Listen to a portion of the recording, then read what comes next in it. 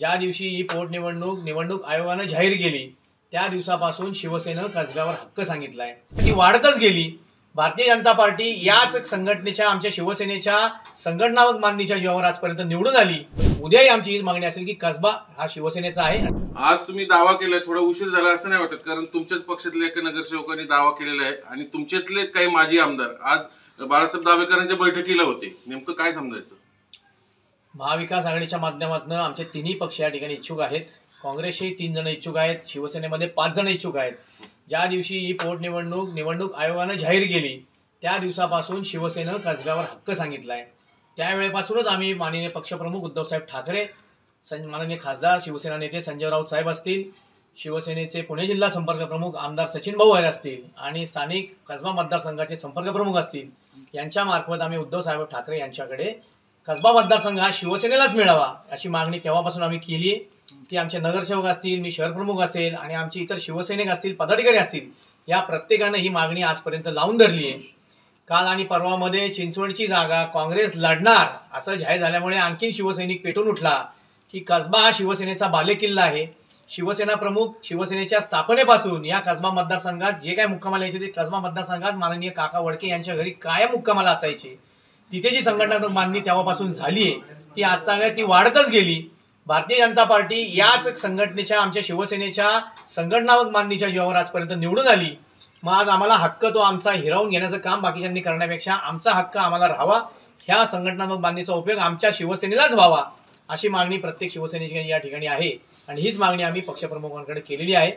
त्यामुळं पहिल्या दिवसापासून आणि आजपर्यंत उद्याही आमची हीच मागणी असेल की कसबा हा शिवसेनेचा आहे आणि तो शिव- शिवसेनेलाच मिळावा. पण काल जी बैठक शहराध्यक्ष तिकडे दावेकरांच्या बैठकीला होते. त्याचा अर्थ काय घ्यायचं?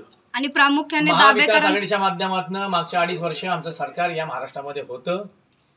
तिन्ही पक्षाचे लोक एकमेकांना बोलवतात. त्याप्रमाणे आमचे पदाधिकारी प्रत्येकाच्या बैठकींना असेल नाश्त्याचं आवाहन केलं असेल त्या ठिकाणी जातात. मला सुद्धा त्या नाश्त्याचं निमंत्रण होतं.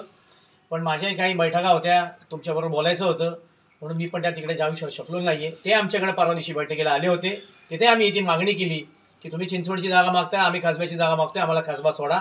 तुम्ही चिंचवड घ्या. अशी पुणे शहराचा एक शहर प्रमुख या नात्यानं कसबा मतदारसंघ आम्हाला मिळावा अशी आम्ही पक्षाकडे मागणी करतो. पण दावेकरांनी असा दावा केला आमच्याशी बोलताना की तुमच्या काल जी बैठक झाली शिवसेनेची त्याच्यातल्या तुमच्या शिवसेनेच्या काही पदाधिकाऱ्यांनी असं मागणी केली जर दावेकर उमेदवार असेल तर आमचा त्यांना पाठिंबा आहे. असं असं मला वाटत नाही जाहीरपणे कोणी कोण बोललं असेल. प्रत्येक जण आपल्या पक्षाची भूमिका मांडताना दुसऱ्या पक्षाचा आधार घेतो. पण शिवसेना सक्षम आहे. असं बोलण्याकरता कुठल्याही पक्षाचं हे असं बोलले असं आम्ही बोलणार नाही. आमच्याच पक्षातले सर्व पक्ष प्रमुख असतील विधानसभा बघितले सगळे पदाधिकारी असतील आणि शिवसैनिक असतील आम्ही आमच्या पक्षाकडे मागणी करतोय आणि ती लावून धरतोय. कसब्यातूनच जर तुम्ही उमेदवारी लढायचं इच्छा व्यक्त करत असाल तर आत्ता सध्या तुम्ही महाविकास आघाडीमध्ये आहात. याचमुळे तुम्ही जर सीट मागत असाल तिथे तर महाविकास आघाडीमध्येच कुठली बिघाडी आला असं वाटतंय का? प्रत्येक पक्षाला जरी महाविकास आघाडीतले आम्ही घटक पक्ष असलो तरी आपला पक्ष वाढावा आमच्या पक्षाचं संघटन वाढावं आमच्या पक्षाचा एक लोकप्रतिनिधी वाढावा हा प्रत्येक पक्ष हा प्रयत्न करताना या ठिकाणी दिसतोय. नुसता पुणे शहरामध्ये नाही तर पिंपरी चिंचवड असेल प्रत्येक राज्यातल्या प्रत्येक विधानसभा मतदारसंघामध्ये असेल. प्रत्येक पक्षाला आपलं संघटन लोकप्रतिनिधी वाढवण्याचा हक्क आहे आणि तो आम्ही या ठिकाणी बजावतो उद्धव ठाकरे